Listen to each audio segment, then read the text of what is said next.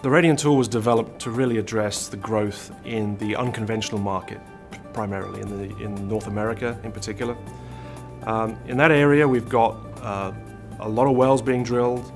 Um, the wells are uh, marginal as far as the economics are concerned. The operators don't have a lot of money to spend, um, and they're rather reluctant to spend a lot of money on formation evaluation uh, measurements.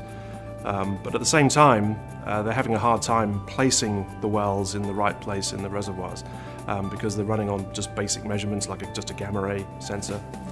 Um, so in order to address that, uh, we thought we would bring in uh, an azimuthal sensor, which the Radian is, um, along with a built-in inclinometer. And that provides two things. It, it says it provides um, detailed information about the surrounding formations from the azimuthal gamma ray images, so the operator has a much better idea where they are geologically. Um, and it also helps them keep track of where the well path itself is. You know, the small changes in the well trajectory can have an impact later on uh, completion designs and things like that.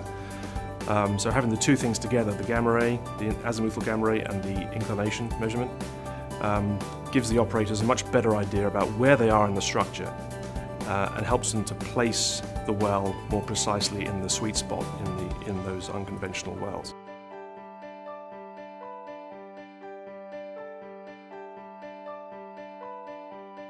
We have experience with several customers in North America. Um, with one in particular, uh, they, were, they were having some uh, difficulty in understanding where the wells that they were drilling were placed, geologically speaking. Um, they're trying to correlate one well with another in the TVD, the vertical uh, space, and that was proving difficult for them. Uh, they also had some um, un, uh, unusual gamma ray responses that they were seeing on their traditional uh, gamma ray measurements, uh, which they didn't really understand very well.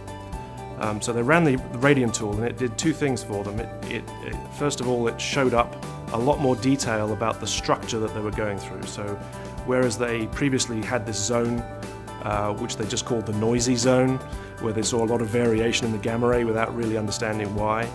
Uh, with the azimuthal gamma ray, they were able to, to see a lot of details in the, in the local dip structure that was in the, in the reservoir.